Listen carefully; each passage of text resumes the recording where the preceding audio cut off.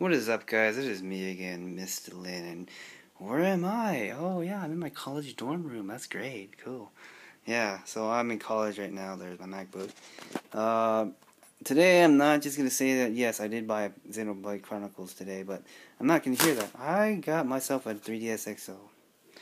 Yeah, sadly, this old buddy is gonna go soon. Because, why? You can't really see it, but there's significant scratches. Well, I can't really say that right, but significant scratches. And the A button kind of is messed up now.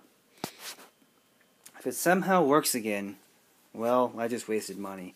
But here is my 3DS XL unboxing video with my keys and stuff like that in my wallet and whatever, blah, blah, blah. Let's just move this over here. Actually, let's use this as a tool to open this thing whatever. Doing this with one hand again, yay!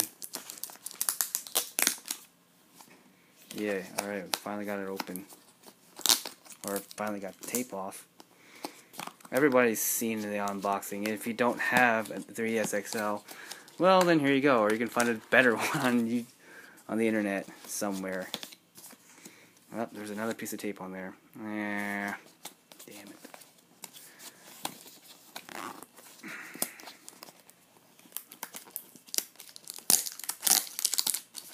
There, now it's open.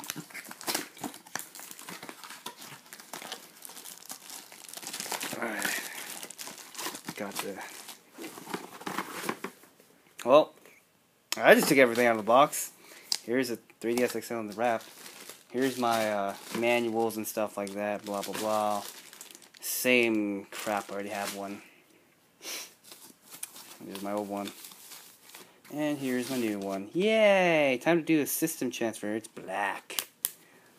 Yeah. I have to get used to this button. It's gonna be really, really awkward for me. Man, it's gonna be awkward in general. I'm so used to the small screen that I'm. This thing is gonna be dramatically huge. Oh God. But nonetheless, sadly, this one is sort of broken. I may use this from time to time but I'm primarily going to use this one. So, thanks for watching, guys. I got to do my system transfer now. See ya!